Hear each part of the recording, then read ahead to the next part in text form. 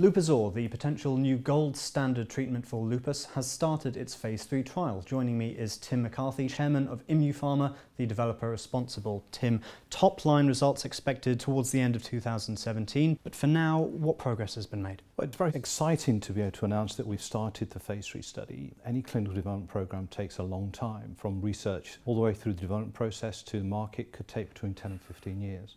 So to be right at the end now in the, in the final phase 3 development is exciting, both for us as a company, but perhaps more importantly for patients, because this is a disease, lupus, which is a severe disease for patients. There aren't that many effective treatments on the market at the moment, and if we can be successful in this study, then it will be fantastic news for those patients. You kickstarted the next stage of development uh, back in December with an investigators meeting. Can you talk me through the announcements that were made there, as well as the next milestones that you expect to be crossing? Yes, of course. The investigators meeting we held in Paris just before Christmas, as you say, and that's uh, an opportunity to bring together all the clinicians and the, the lead investigators on the study from all across the United States, across Europe in one place, so they can all compare notes and we can brief them and make sure everybody is, is geared up to, to do the study. And what we've announced since then is the opening of sites in the United States, uh, the recruitment of patients and actually dosing of patients in the States. And that's up to 10 sites.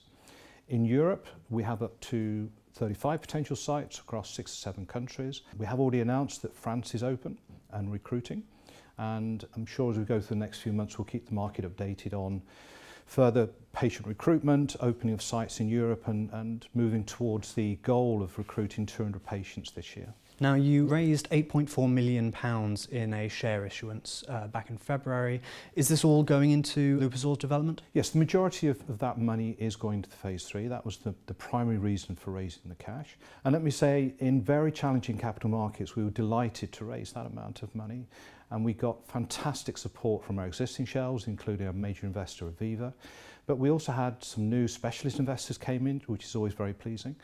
Plus, it's important to say that all of the directors participated in the round as well. And quite unusually, but very pleasing again in terms of external validation, the clinical research organisation, Simbec Orion, that are running this study in conjunction with ourselves, also participated. So to get their involvement was fantastic. As you say, very challenging conditions to acquire that amount of capital. Talk me through the potential for Lupuzor and what managed to convince shareholders to invest. I think it's a couple of things when you're trying to attract uh, both existing investors and new investors into a fundraising. One is the proposition, in our case, the drug development, based upon the clinical development that we've done to date and the results that we've seen to date, which have been fantastic. And those all show very good efficacy or the benefit to patients in terms of their multi symptoms, but also, as importantly, uh, a very benign side effect profile. So patients are getting very good benefit from this drug without any, any side effects. And then on the other side, from a financial perspective, of course, one has to look forward to the market potential of a drug like Lupuzor. Pricing could be as high as $20,000 per patient per year. So if one does simple maths and says every 50,000 patients that take this drug at $20,000 per year, that's a billion dollars per year.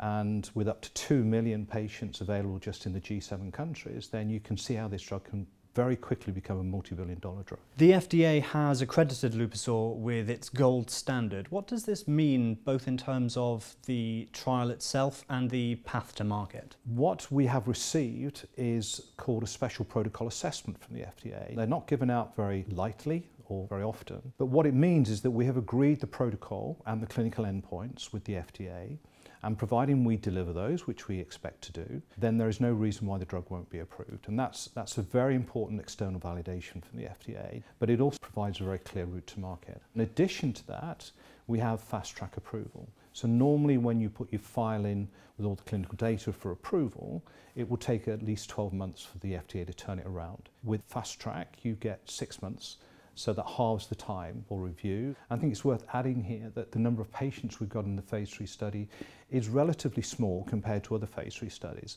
And that again just validates the, the FDA view of the clinical data to date and the benign safety profile.